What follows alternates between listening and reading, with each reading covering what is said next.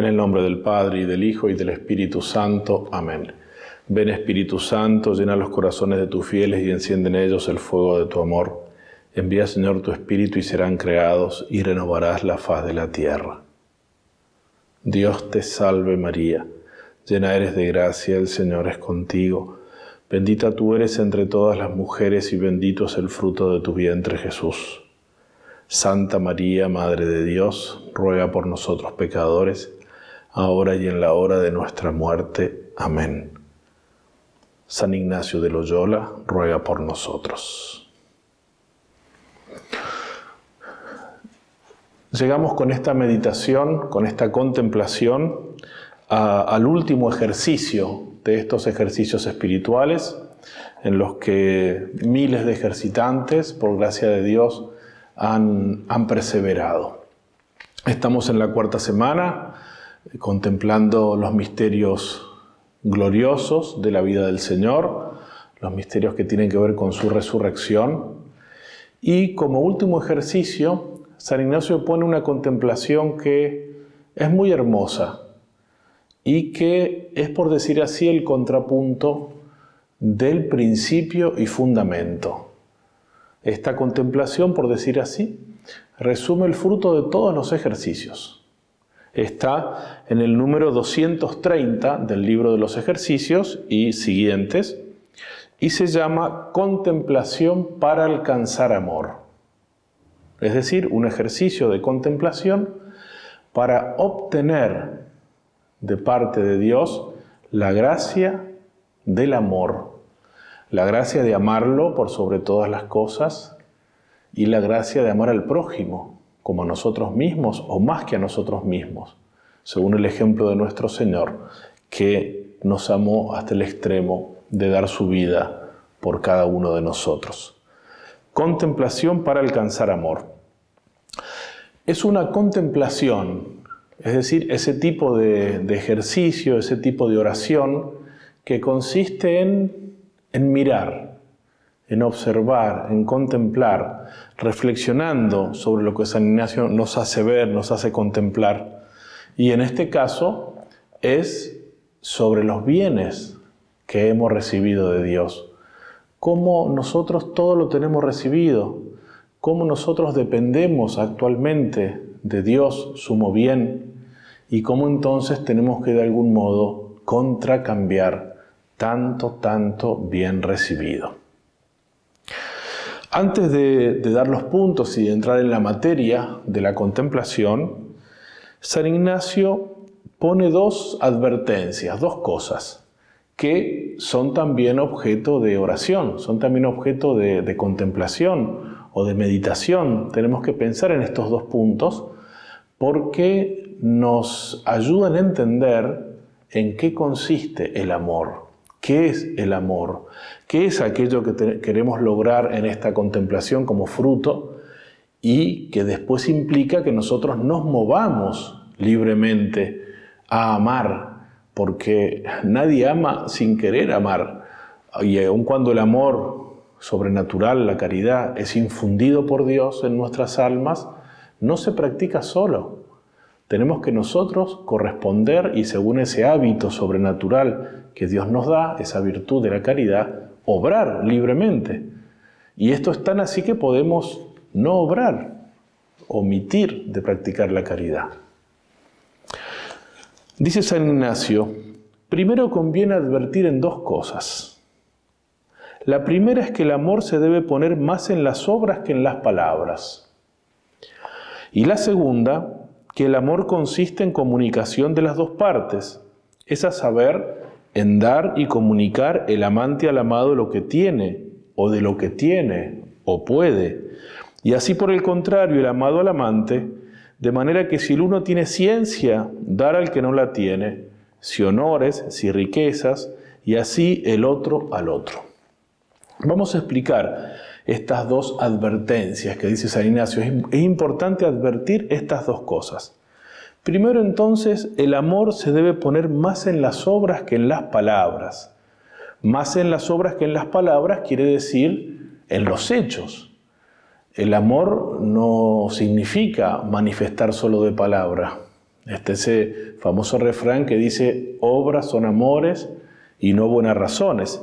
Y esto ya lo dice el apóstol San Juan en su primera carta, primera de Juan capítulo 3, versículo 18.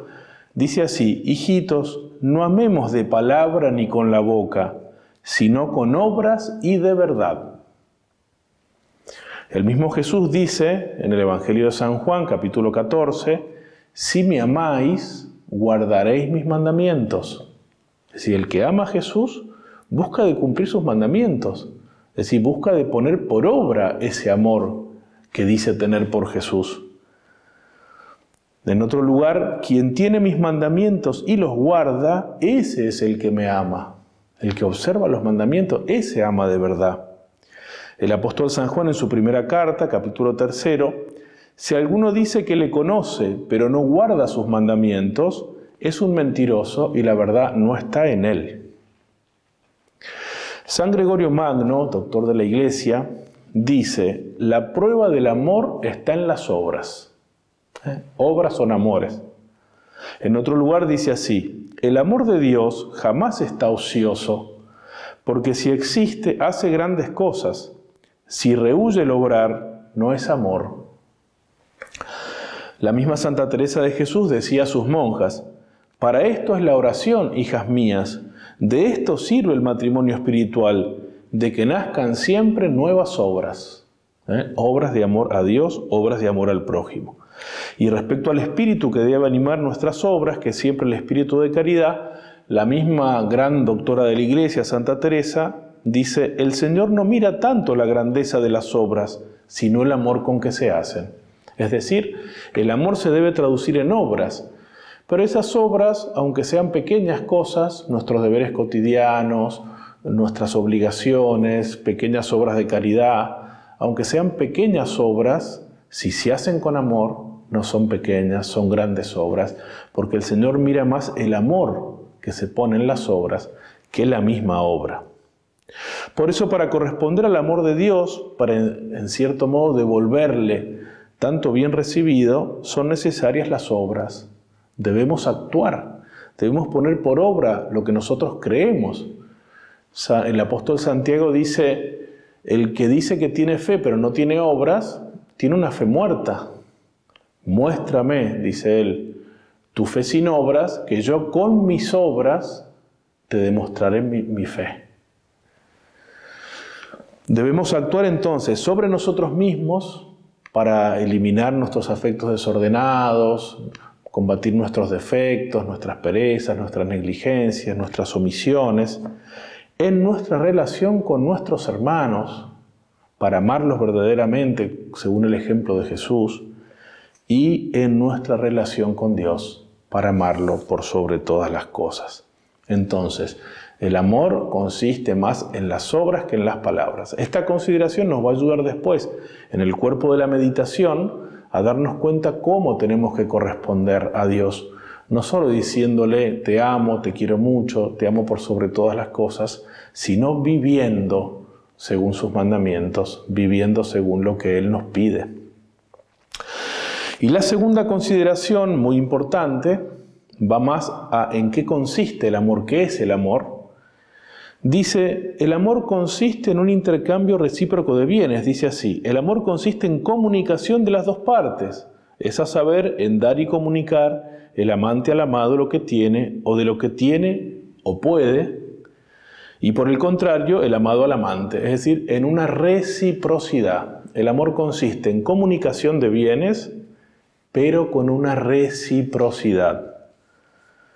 Es un intercambio recíproco de bienes. El amante da y comunica al amado lo que tiene o una parte de lo que tiene, y a su vez el amado se lo da al amante. Y pone ejemplos San Ignacio, así el que tiene ciencia, honores o riquezas, se los da al que no los tiene y así recíprocamente. Es decir, no hay amor verdadero de parte del que ha recibido beneficios sin reciprocidad. De parte de Dios, el amor de Él no implica haber recibido de nosotros nada. Como dice San Juan, Él nos amó primero. Dios es la suma bondad y como el bien es difusivo de sí mismo, Él ha creado todas las cosas y nos ha creado a nosotros y nos, ha dado todos los bienes que ahora intentaremos recordar en esta meditación, todos sus dones, sin haber recibido nada de nosotros. En cambio nosotros, la criatura, ¿cómo demuestra el amor? En una reciprocidad, es decir, buscando devolverle a Dios los bienes que nosotros tenemos y que en el fondo son todos recibidos de Él. Porque si no, no, no hay verdadero amor, si no retribuimos. De parte de Dios hay verdadero amor, que es todo creador, que es todo originario, que no depende de nada antecedente, pero se trata de esta contemplación de entender qué tenemos que hacer nosotros ante ese Dios que es todo amor, y es corresponder una reciprocidad, si no, no amamos verdaderamente. El Señor nos amó dándonos muchos beneficios, como se verá en la contemplación. Por lo tanto, si lo amamos verdaderamente a Dios, debemos corresponderle. En esto radica el amor. Dice el apóstol San Juan, primera carta, capítulo cuarto, Dios es amor. El que permanece en el amor, permanece en Dios y Dios en él. Permanecer en el amor quiere decir amar a Dios, corresponder a Dios. San Bernardo, doctor de la Iglesia, dice, Solo con el amor la criatura puede contracambiar el amor de Dios, aunque en modo desigual. Porque recibimos tanto de Dios, es imposible que le devolvamos en igual medida a Dios.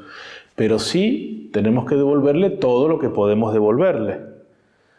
Dice San Bernardo, nunca podremos devolver a Dios los muchos beneficios recibidos. Nuestro amor desde este punto de vista siempre será poco, será deficiente es un amor que es desigual, pero que por otra parte, si lo amamos a Dios con todas nuestras fuerzas, como es el mandamiento, amarás al Señor tu Dios con todo tu corazón, con toda tu mente, con todas tus fuerzas, con toda tu alma, si lo amamos con todo nuestro ser, lo amamos con todo lo que podemos amar y entonces lo amamos perfectamente. Y nuestro amor va siempre a ir creciendo, amándolo cada vez más amándolo en el momento actual lo más que podamos. Y así va a ir creciendo nuestro amor y siempre lo vamos a amar más y más. Dice Santo Tomás de Aquino que la semejanza es la causa del amor. Se ama lo que es semejante. Así los hombres se aman entre ellos, un hombre a una mujer, los padres a los hijos. Si esto se aplica a nuestra relación con Dios, la gracia santificante que está en nosotros y que es una participación de la vida de Dios, de la naturaleza de Dios, que nos hace ser hijos de Dios, es el principio del amor, porque nos hace semejantes a Dios. Nos hace por gracia lo que el mismo verbo de Dios es, hijos de Dios, de su misma naturaleza, partícipes de la misma naturaleza divina, como dice el apóstol San Pedro. Por eso, poder amar a Dios es también corresponderle usando el mismo don que Él nos ha dado, el amor. San Agustín dice, amar a Dios es un don de Dios. Cuando el Señor le preguntó a Pedro, Pedro, ¿me amas? Le estaba exigiendo que le devolviera lo que Él le había dado primero. Por eso cuando nuestro Señor Jesucristo en la última cena dice, amaos los unos a los otros como yo os he amado, y parece que nos está pidiendo algo imposible, ¿quién puede amar como Jesús, que es Dios? Sin embargo, no nos pide, nos puede pedir un imposible porque Él nos va a dar la participación de su vida divina, la gracia, y con ella la virtud de la caridad. Él va a poner en nuestro corazón su mismo amor para que podamos amarnos entre nosotros y para que podamos amarlo a Él por sobre todas las cosas. Y, por eso es que podemos entonces amarlo de esa manera. Santo Tomás eh, justamente dice eso en, el comentario del Evangelio de San Juan, que nuestro Señor puede ser tan exigente con nosotros porque pone en nosotros el amor. Es fruto de la vida del Espíritu Santo en nosotros, como dice San Pablo en la carta a los Gálatas, que los frutos del Espíritu Santo son amor, paz, alegría, gozo, el amor. Y en la carta a los Romanos San Pablo dice que el amor de Dios ha sido derramado en nuestros corazones con el Espíritu Santo que se nos ha dado. Por eso podemos amar, porque tenemos la caridad si estamos en gracia de Dios. Pero como ya decía antes, la caridad no se practica sola. Tenemos que movernos libremente a practicarla, querer amar a Dios, querer amarlo más. Y para eso es esta contemplación, para esto son los ejercicios espirituales que tienen por finalidad justamente, justamente vencerse a sí mismo para ordenar la vida sin afectos desordenados, es decir, sin quereres que no sean puro amor de Dios y por tanto poner a Dios como el primer objeto de nuestro amor. Esa es la finalidad de los ejercicios. Por eso esta contemplación resume todo el fruto de los ejercicios, porque en la vida espiritual todo consiste en aprender a amar a Dios y al prójimo, cumpliendo así perfectamente el primero y el más importante de los mandamientos. Cumplir ese mandamiento es cumplir la ley entera, dice San Pablo en la carta a los Romanos capítulo 13. Cumplir ese mandamiento es la plenitud de la ley. Por eso debemos esforzarnos por desarraigar todo otro amor que no sea puro amor de Dios. El amor a Dios y al prójimo es contrario al amor a uno mismo, al egoísmo. La caridad hace que uno salga de sí mismo, hace que uno no busque el propio interés, como dice San Pablo en la primera carta a los Corintios. La caridad no busca el propio interés. La caridad hace que nos olvidemos de nosotros mismos y estemos al servicio de los demás y al servicio de Dios, como Jesús, que se llamó siervo de Dios y que dijo que había venido en medio de nosotros como el que sirve para dar su vida en rescate por nosotros, como nuestro siervo. Y eso lo enseñó incluso gráficamente, por ejemplo, cuando lavó los pies a sus discípulos, haciendo un trabajo que hacían los esclavos. La caridad entonces exige que nosotros no antepongamos nada a Jesucristo. San Francisco de Sales dice que la perfección consiste en no amar nada sobre Dios, nada contra Dios, nada como a Dios. Y además debemos amar al prójimo por amor a Dios, como dice San Pablo en la carta a los Gálatas, no nos cansemos de obrar el bien, que a su, tiempo nos vendrá la cosecha si no desfallecemos. Así que mientras tengamos la oportunidad, hagamos el bien a todos, especialmente a nuestros hermanos en la fe. Y no nos olvidemos que, como dice San Juan de la Cruz, al atardecer de la vida vamos a ser juzgados en el amor. Y nuestro Señor lo enseñó también eso respecto al amor del prójimo cuando dijo que al final de los tiempos, cuando Él venga a juzgar, va a separar a los buenos de los malos y a los buenos les va a decir, venid benditos de mi Padre al reino preparado para vosotros, porque tuve hambre y me disteis de comer, tuve sed y me disteis de beber, estaba desnudo y me vestisteis, estaba enfermo y me visitasteis, y estaba en la cárcel y vinisteis a verme. Y ellos le dirán, ¿cuándo hicimos eso, Señor? Y él responderá, cada vez que hicisteis esto a uno de mis pequeños hermanos, conmigo lo hicisteis. Y a los que se condenarán les dirá, id al fuego eterno, porque tuve hambre y no me disteis de comer, tuve sed y no me disteis de beber, estaba en la cárcel, estaba enfermo y no vinisteis a visitarme, estaba desnudo y no me vestisteis. Y ellos le dirán, ¿cuándo, Señor? Y cuando no lo hicisteis con uno de estos mis pequeños hermanos, dejasteis de hacerlo conmigo. Por eso, amor a Dios por sobre todas las cosas, pero también al prójimo, porque, como dice San Juan, el que dice que ama a Dios a quien no ve, y no ama al prójimo, al que ve, miente. Bueno, con estas dos premisas entonces, vamos ahora al cuerpo de la contemplación. Me he extendido un poco en estas dos premisas porque son muy importantes.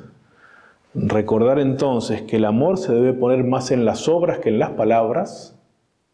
Recordábamos recién el juicio final, tuve hambre y me diste de comer, son todas obras.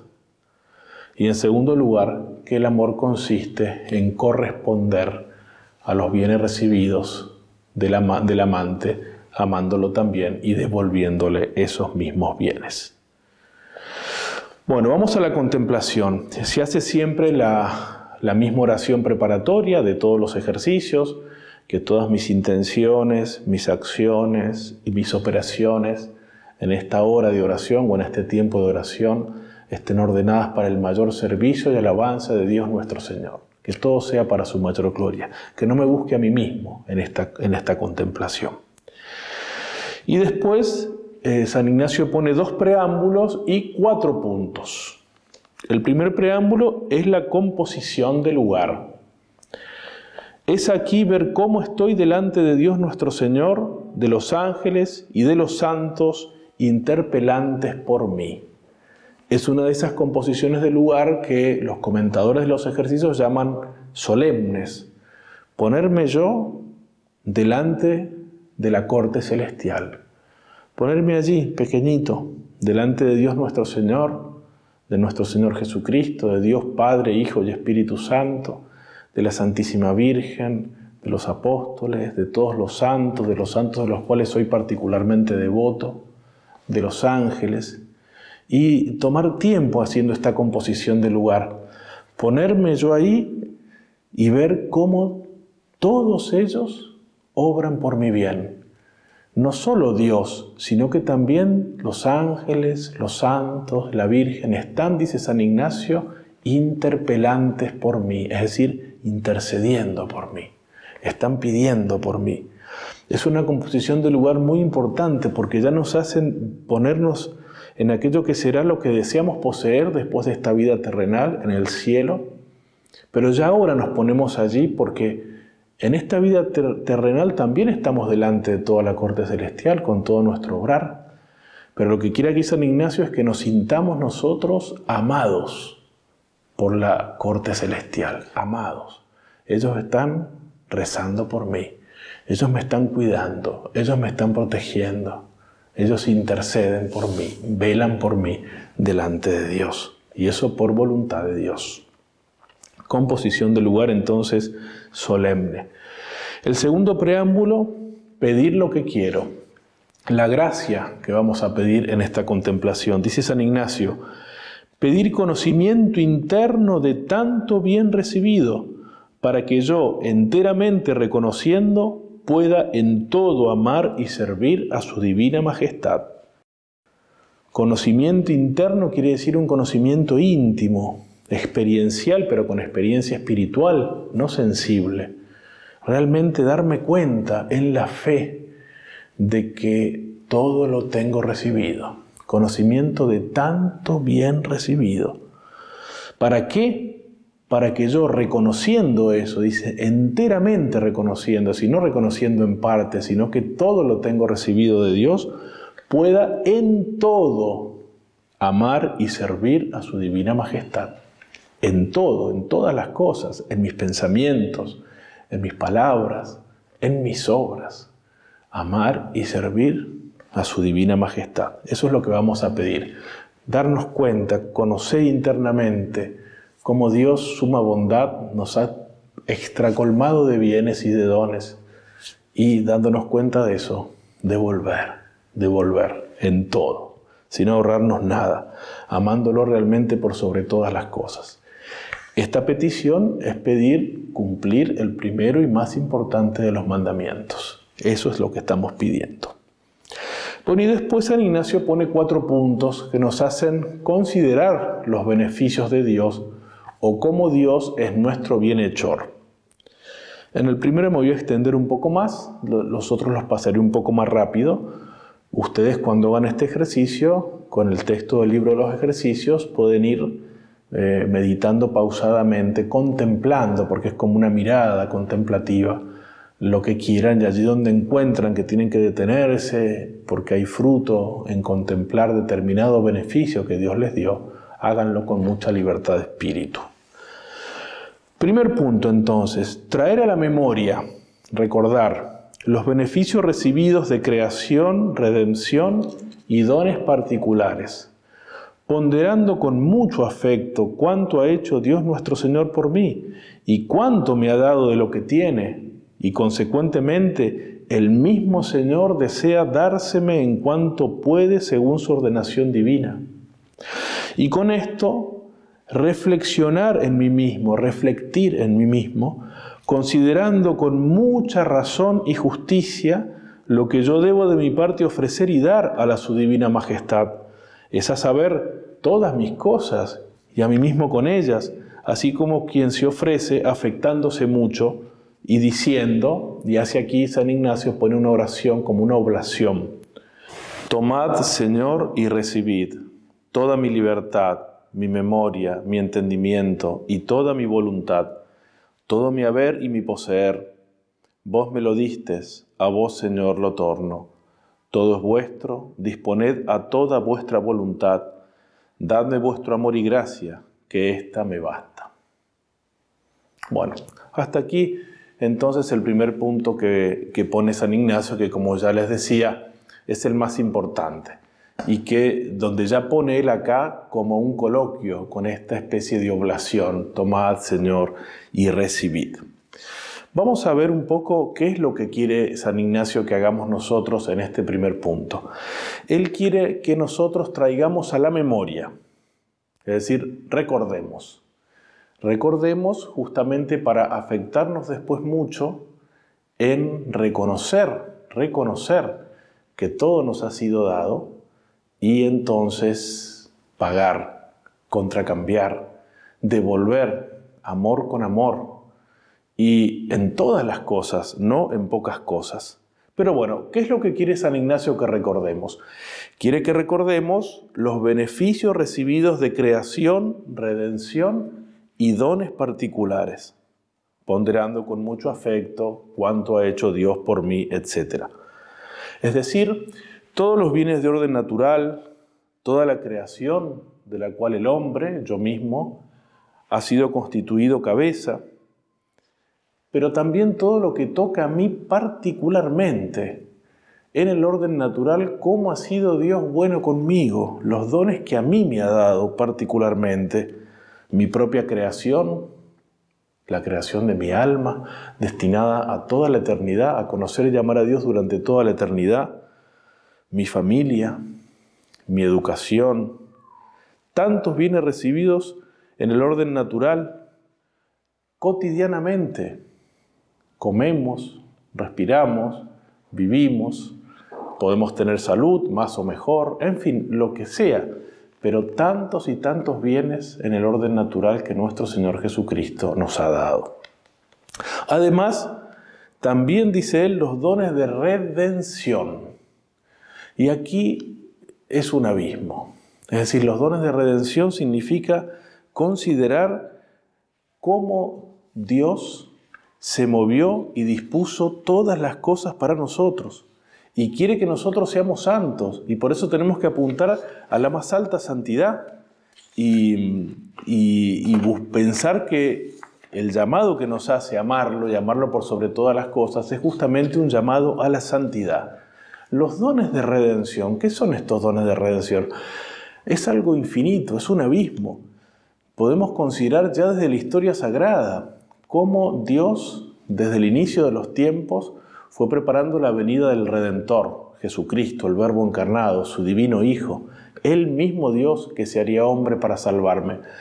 Y lo fue preparando mediante toda la historia del Antiguo Testamento, mediante los profetas, mediante los patriarcas, lo fue preparando, eh, inspirando los libros sagrados de la Sagrada Escritura, que es un hermosísimo, un extraordinario un don de Dios para la salvación de mi alma, para mi bien espiritual, en la que Él mismo se nos revela, se nos da a conocer.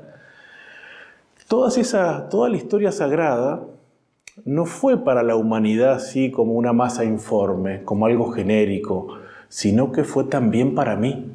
Porque Jesucristo sí vino para que todos se salvaran, pero no de una manera masificada, sino que vino por cada uno de nosotros y nos ha amado con amor personal a cada uno de nosotros. Y por eso toda la historia sagrada es para mí.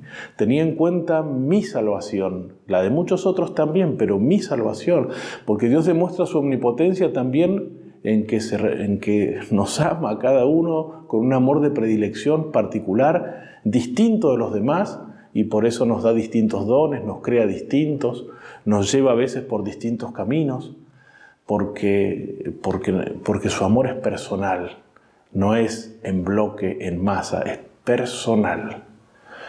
Y en cada uno de nosotros vive por la gracia, en los que estamos en gracia, y es un amor personalísimo y una relación personalísima. Pero bueno, toda la historia sagrada entonces fue por mí. Incluso los grandes santos que precedieron inmediatamente la encarnación del Verbo, San Juan Bautista, San José, Dios los creó y los santificó por mí. La Santísima Virgen María, la aurora que ya preludiaba el nacimiento del sol que nace de lo alto, nuestra Madre del Cielo, de la cual nunca se dirá lo suficiente, el paraíso de Dios, el paraíso de la encarnación, el jardín cerrado, la casa de oro que la sabiduría se edificó para habitar, ella fue creada por mí, por mi redención, por mi salvación. Y el misterio de la encarnación. De hecho, San Ignacio cuando nos ha presentado los misterios de la vida de Cristo nos ha hecho ver eso, el verbo que por mí se ha hecho carne, porque ha venido para salvarme a mí. Y por eso, dice San Ignacio, ponderar los beneficios de redención.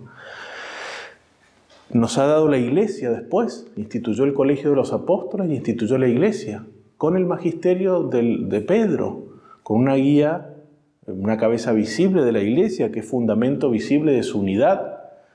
La iglesia que es el cuerpo místico de nuestro Señor Jesucristo, es decir, a la cual quedamos incorporados cuando nos bautizamos, y por eso quedamos incorporados al mismísimo Jesucristo y somos con Él una sola cosa, una sola persona mística. Él la cabeza, nosotros los miembros, Él la vida, nosotros los sarmientos, pero una única persona mística, por lo cual todo lo de Él es nuestro, sus infinitos méritos, sus virtudes, su filiación divina, el cielo que esperamos, y todo lo nuestro, Él lo toma nuestras miserias, nuestras debilidades, nuestras flaquezas, nuestros pecados. Todos los beneficios de redención que, eh, en los cuales la Iglesia, por decir así, descuella ser miembros del cuerpo místico de Cristo. Y aquí podemos ver también ya algo más particular. San Ignacio dice los dones también particulares y se refiere principalmente a los dones particulares de esto, de la redención. Porque todo ha sido por mí, pero además a mí, a mí en concreto, el Señor me ha dado bienes enormes y así los sacramentos recibidos, mi propio bautismo, la confirmación, las confesiones. ¿Cuántas veces, incluso si nos alejamos de la amistad de Dios y lo ofendimos gravemente, pudimos volver a Él experimentando su misericordia en el sacramento de la confesión? el matrimonio para los que son casados, dándonos la gracia a los esposos, dándoles la gracia para, para poder ser santos en ese propio estado que tiene también tantas dificultades. Y bueno, y, la cumbre de todos los sacramentos, que es la Sagrada Comunión. Es decir, el sacramento que no solo contiene la gracia, sino el mismísimo autor de la gracia, Jesucristo. El sacramento que justamente tiene como efecto propio hacernos una sola cosa con Él el sacramento que causa la unidad de la iglesia, es decir, de todos nosotros con Él y entre nosotros.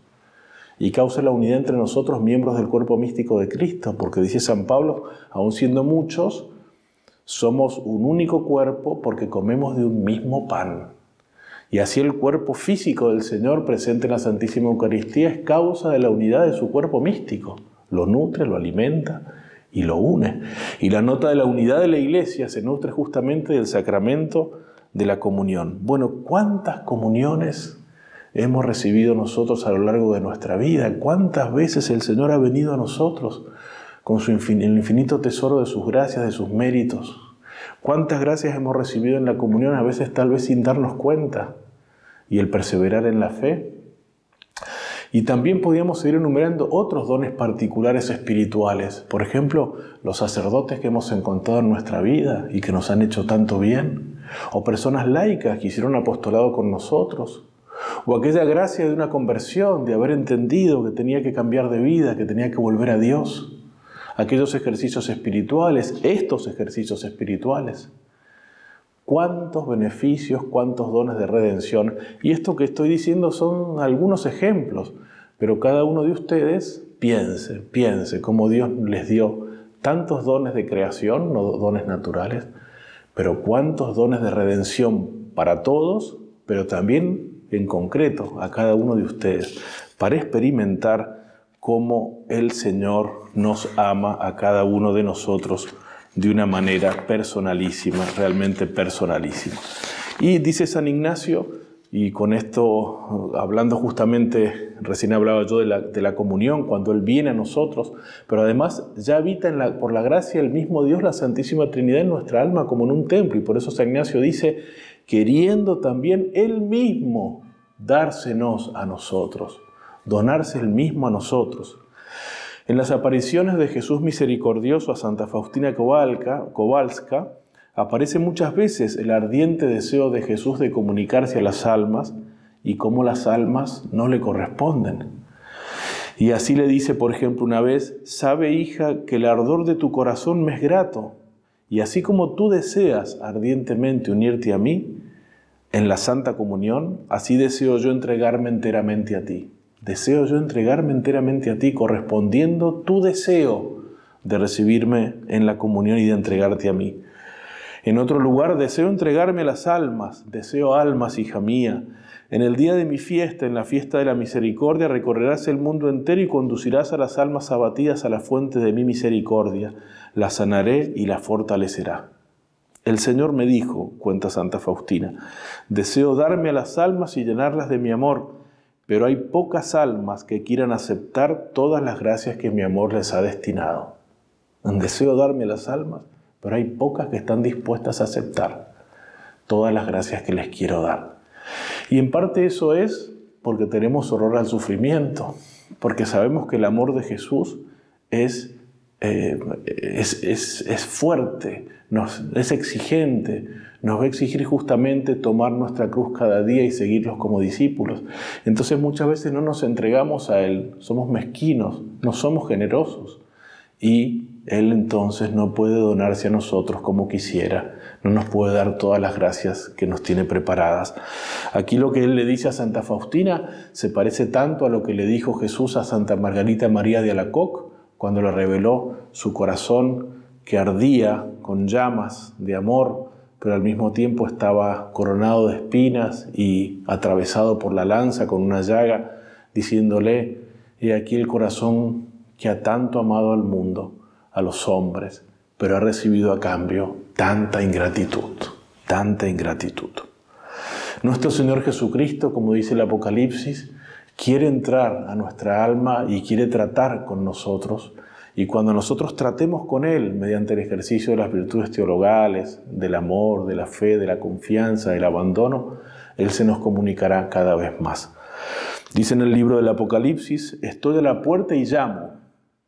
Si alguno me abre, entraré y cenaré con él. Si alguno me abre, entraré y cenaré con él. Por eso dice San Ignacio que viendo todo esto, tenemos que reflexionar, viendo lo que yo, dice él, con mucha razón y justicia, debo de mi parte ofrecer y dar a su divina majestad. Con mucha razón y justicia es, es razonable corresponder los beneficios recibidos. Es irracional no corresponder los beneficios recibidos. Es irracional no amar a Dios por sobre todas las cosas, aunque muchos que no lo aman se creen muy racionales, pero es irracional y es una falta de piedad filial y por tanto, en cierto sentido, de justicia respecto a Él. Y dice él, con cuánta razón y justicia debo de mi parte ofrecer y dar a su divina majestad. Es a saber todas mis cosas y a mí mismo con ellas, como quien se ofrece con mucho afecto. Es decir, amarlo con todo el corazón, con todo el alma, con toda la mente, con todas las fuerzas. El primer mandamiento. Y ahí pone diciendo con mucho afecto, tomad Señor y recibid, es decir, esa oblación que ustedes encuentran eh, en el libro de los ejercicios en el número 234. Es decir, ese contracambio. Él se me ha donado, me ha dado muchos dones de creación, de redención y a mí en concreto muchos dones y se me dona Él y Él es absolutamente simple y cuando se dona, se dona todo, se dona todo. Entonces tengo que corresponder porque el amor se debe poner más en las obras que en las palabras y el amor consiste en comunicación de bienes tengo que corresponder contracambiando, amándolo por sobre todas las cosas. Y esa es la gracia que estamos pidiendo en esta contemplación. Entonces, resumiendo, debemos recordar los beneficios recibidos, ver que Dios quiere darme todavía mucho más y sobre todo quiere darse Él mismo a mí. Y ya se me ha dado, pero quiere dárseme cada vez más. Me quiere a mí. Él quiere mi corazón. Y reflexionar entonces sobre lo que tengo que hacer.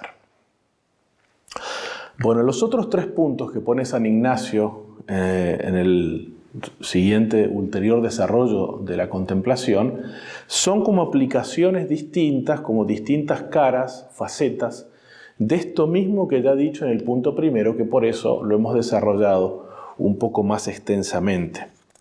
Dice el segundo, el segundo punto, mirar cómo Dios habita en las criaturas, en los elementos dando el ser, en las plantas vegetando, en los animales censando, en los hombres dando a entender, y así en mí, dándome ser, animando, censando y haciéndome entender, y asimismo, haciendo templo de mí, siendo creado a, semejanza, semejanza e imagen de su divina majestad, y otro tanto, reflitiendo en mí mismo, por el modo que está dicho en el primer punto o por otro que sintiere mejor, y de la misma manera se hará sobre los puntos que sigan.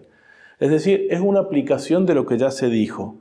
Y es que no solo Dios nos ha dado tantos beneficios, sino que Él mismo actualmente, no solo beneficios pasados, sino actualmente presente, Él está en las criaturas, habita en ellas porque les está manteniendo el ser. Si Él dejase de pensar un instante en las cosas, las cosas desaparecerían. Yo mismo desaparecería si nuestro Señor no me sostuviese en el ser, dejase de, mantenerme en el ser que me ha dado de la nada y me lo ha dado y me lo conserva. Es decir, actualmente Él habita en las cosas, en las cosas irracionales dándoles el ser, en las plantas dándole el vegetar, en los animales dándole la vida sensitiva propia de los animales, pero en nosotros los hombres dándonos además de esos otros aspectos de la vida, dándonos sobre todo el conocerlo y el amarlo, dándome a entender, dice San Ignacio, en los hombres dando a entender y así en mí, animando, censando y haciéndome entender. Es decir, y viviendo Él, dice, en un templo, porque he sido creado su imagen y semejanza. Es decir, he sido creado con inteligencia y voluntad, con un alma espiritual, que es la imagen y semejanza de Dios, que es espíritu puro, y que es inteligencia pura, y que es bondad pura, el amor puro, el sumo amor, la suma verdad.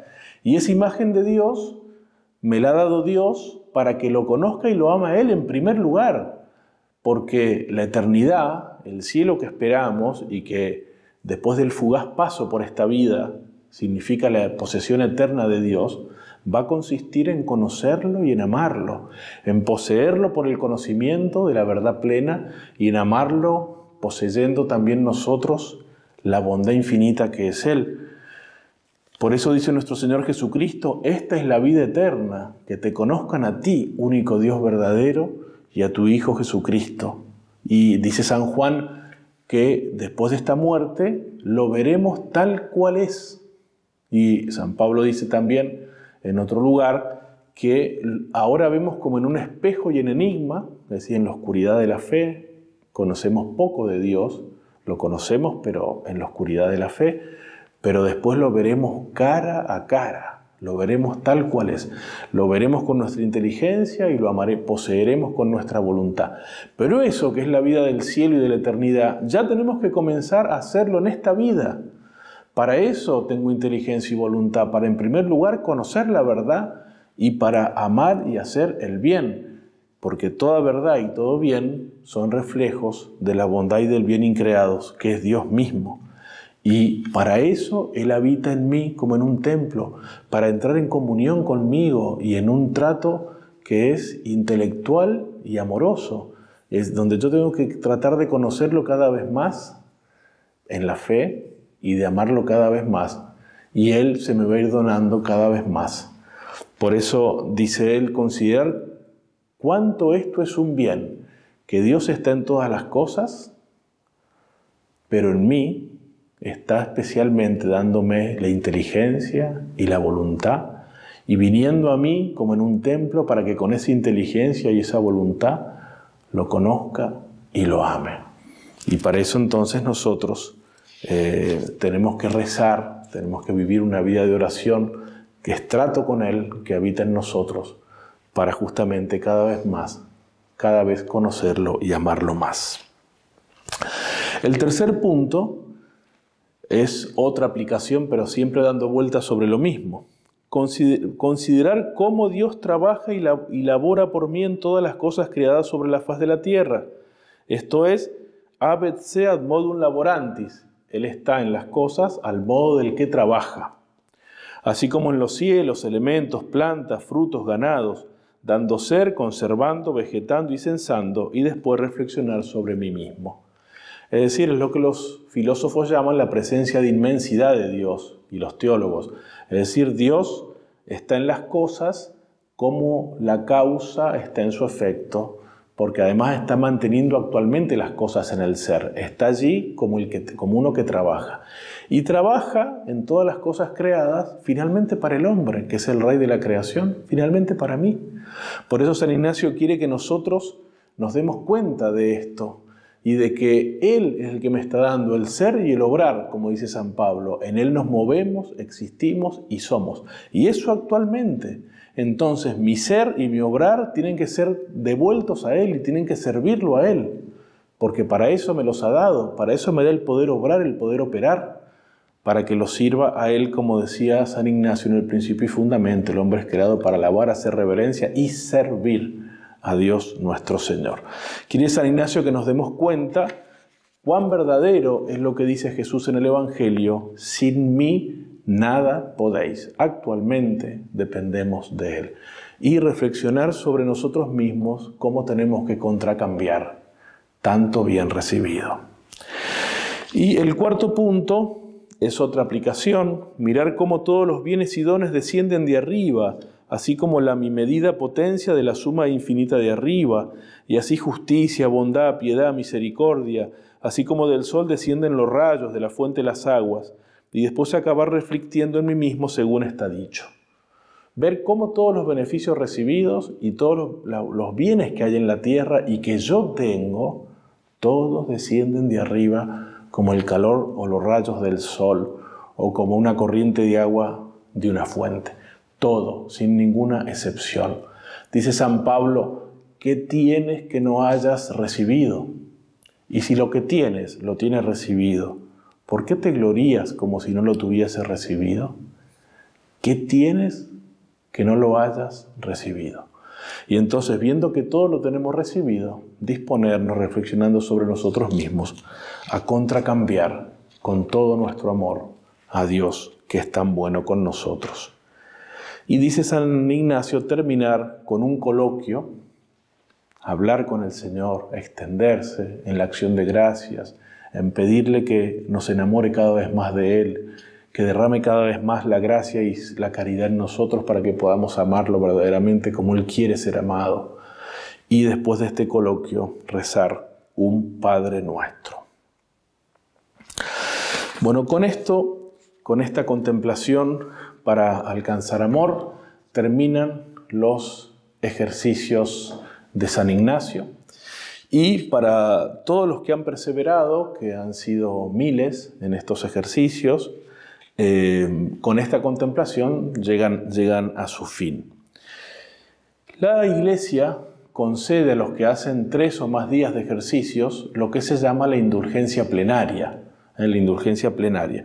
Y les voy a explicar qué es para que puedan también ustedes aprovechar y ganar esta indulgencia plenaria, dado que han hecho estos tres o más días de ejercicios, han hecho muchos más de tres días de ejercicios. ¿Qué es la indulgencia plenaria? Es la remisión de la pena temporal de los pecados ya perdonados que gana el fiel debidamente preparado en ciertas y determinadas condiciones con la ayuda de la Iglesia que administra y aplica el tesoro de los méritos de Cristo y de los santos. Esto que acabo de decir es, la definición de la indulgencia que da el Catecismo de la Iglesia Católica y el Código de Derecho Canónico. Vamos a explicar cada una de las partes de esta definición. Primero, la remisión de la pena temporal de los pecados. ¿Qué es la pena temporal de los pecados?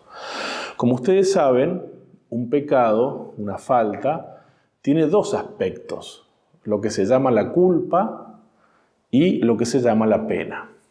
La culpa es justamente el mismo acto malicioso y voluntariamente malicioso que por eso nos hace culpables delante de Dios. La pena es el castigo merecido que en parte sirve para restablecer la injusticia cometida. Por ejemplo, si yo sin querer, eh, por tirando una piedra, rompo un vidrio de la casa de un vecino, puedo ir al vecino y pedirle perdón. Y él me va a decir, bueno, te perdono estás perdonado de esta culpa, pero el vidrio hay que pagarlo, hay que reparar el daño cometido. Este ejemplo análogo, tal vez un poco infantil, ayuda a entender cómo también en los pecados nosotros necesitamos después reparar la injusticia cometida. Y además los pecados nos dejan en el alma resabios, reliquias, es decir, una mayor inclinación al mal, una mayor ignorancia para las cosas buenas, y esas reliquias, para espiarlas, para mm, terminar, aunque hayamos sido ya perdonados en la confesión, necesitamos entonces pagar una pena. Y a eso se ordena la penitencia que el sacerdote nos da en la confesión, cuando nos dice, bueno, como penitencia reza esto y esto, es justamente para que espiemos esta pena temporal de los pecados, que también se puede espiar de muchas otras maneras con las obras de misericordia, las obras de caridad tienen, son especialmente aptas. Dice la Sagrada Escritura que la misericordia, la caridad borra la multitud de los pecados. Bueno, si no espiamos esas penas acá en la tierra, tenemos que pagarlas en el purgatorio, que existe para eso, para aquellas almas que han muerto en gracia, porque han sido perdonadas sus pecados, la culpa ha sido perdonada, pero no terminaron de reparar y de expiar la injusticia cometida y las reliquias de los pecados que les habían quedado en el alma. Entonces, mediante las cruces que llevamos, mediante las cosas ofrecidas, mediante las obras de misericordia, mediante las oraciones, nosotros podemos reparar y espiar las faltas cometidas. Pero también ganando las indulgencias. Es decir, lo que hace la Iglesia es, por un acto de su misericordia, perdonarnos esa pena temporal que deberíamos descontar cuando ganamos una indulgencia plenaria. Pero ya vamos a explicar por qué, de dónde sale eso. ¿eh? Por eso el que gana la indulgencia eh, plenaria queda realmente en su alma como el día de su bautismo, porque sus pecados han sido perdonados respecto a la culpa, por ejemplo en la confesión, pero además también la pena temporal de sus pecados y por tanto si muere en ese momento va directamente al cielo porque no tiene nada que descontar porque le han sido ya perdonados los pecados por medio de la indulgencia. Entonces, es la remisión de la pena temporal de los pecados que ganan los fieles convenientemente preparados. ¿Qué quiere decir convenientemente preparados? Quiere decir que hay que tener disposiciones interiores para ganar la indulgencia. Y la principal es detestar el pecado, es no estar apegado desordenadamente a ningún pecado, desapego al pecado. Por más que sepamos que somos débiles, que tal vez después volvamos a pecar, pero aquí y ahora no quiero pecar más. Y quiero esto que sé que me hace caer esta ocasión de pecado, quiero desarraigarla, estar desafectado al pecado, no estar apegado al pecado, a, a ningún pecado particular ni a ningún otro tipo de pecado, esa es la disposición fundamental, porque si no, ¿cómo te va a dar la iglesia la indulgencia si vos estás pensando después en seguir pecando o no estás, eh, no querés afectarte en desapegarte de las cosas que te hacen pecar? Entonces, la condición fundamental es justamente ese desapego por el pecado, no tener afección al pecado, aquí y ahora, en el momento de ganar la indulgencia. Además, con ciertas condiciones que las pone la Iglesia. En concreto, la Iglesia nos pide tres condiciones. Confesarnos y comulgar, confesión y comunión, eh, para poder ganar la indulgencia, dentro de unos ocho días, diez días, es decir, en la proximidad, no están establecidos los días, digo así por decir un número de días que no es tan corto pero tampoco tan largo. En la proximidad de estos ejercicios, durante los ejercicios o ahora después de los ejercicios, confesarse y comulgar con esta intención de, ganar la indulgencia detestando todo pecado eh, y de unirse a nuestro Señor Jesucristo en la comunión, entonces confesión y comunión, y rezar por las intenciones del Papa, que es lo que vamos a hacer enseguida para hacer cumplir ya aquí todos juntos esa condición. Y la Iglesia nos da esa remisión de la pena temporal, dice la definición, por el ministerio de la misma iglesia, porque es Jesús el que le dio a Pedro, al Papa, el poder de atar y desatar. Todo lo que ates en la tierra será atado en el cielo y lo que desates en la tierra será desatado en el cielo. Y eso también implica el que el Papa disponga que a determinadas obras, por ejemplo los ejercicios, o a determinados tiempos, por ejemplo un año jubilar, o un día, un día que se gana indulgencia plenaria en determinado lugar, santuario, el Papa puede disponer que ahí se gana la indulgencia plenaria porque Él es el administrador, el que ata y que desata en los bienes espirituales de la Iglesia. ¿Y qué es lo que hace el Papa o la Iglesia, encabezada visiblemente por el Papa? Administra el infinito tesoro de los méritos de Cristo y de los santos. Es decir, lo que la remisión de la pena temporal de los pecados no es algo gratuito. Hay alguien que ya pagó por mis pecados, que es Jesucristo en primer lugar, pero también los méritos infinitos de la Virgen, los de los santos, los de los miembros de la iglesia que están en gracia, que cuando hacen obras buenas, aumentan el tesoro espiritual de la iglesia y embellecen a todo el cuerpo místico de Cristo. Y esto hace sí que la misma iglesia pueda administrar ese infinito tesoro y ahora aplicarlo a esta persona que cumplió esta obra a la cual la misma iglesia le había dado la indulgencia plenaria. No es algo gratuito, sino que alguien ya pagó por mí. En primer lugar, por supuesto, y de manera sobreabundante, Jesucristo. Entonces, resumo. Para dar la indulgencia plenaria, que es la remisión de la pena temporal de los pecados, se requiere hacer la obra que tiene la indulgencia, en este caso los ejercicios espirituales que ustedes han hecho, no estar afectado o apegado al pecado ahora actualmente, tener deseos de nunca más pecar, confesar y comulgar en este periodo de tiempo cercano y rezar por las intenciones del Papa. ¿Qué es lo que vamos a hacer ahora antes de que les dé la bendición final? Y para ello vamos a rezar el credo. Creo en Dios Padre Todopoderoso, Creador del cielo y de la tierra. Creo en Jesucristo, su único Hijo, nuestro Señor, que fue concebido por obra y gracia del Espíritu Santo. Nació de Santa María Virgen padeció bajo el poder de Poncio Pilato, fue crucificado, muerto y sepultado, descendió a los infiernos, al tercer día resucitó de entre los muertos, subió a los cielos. Y está sentado a la derecha de Dios Padre Todopoderoso. Desde allí debe venir a juzgar a los vivos y a los muertos. Creo en el Espíritu Santo, la Santa Iglesia Católica, la comunión de los santos, el perdón de los pecados, la resurrección de la carne y la vida eterna. Amén. Les deseo a todos una santa perseverancia. los encomiendo a la materna protección de la Virgen María, nuestra Madre, que está siempre junto a nosotros. Ténganla ustedes por Madre y por Señora y no les va a faltar nunca nada en la vida espiritual. Y ahora les voy a dar la bendición con una reliquia de la Santa Cruz. El Señor esté con vosotros. Os bendiga Dios Todopoderoso, el Padre, el Hijo y el Espíritu Santo. Amén.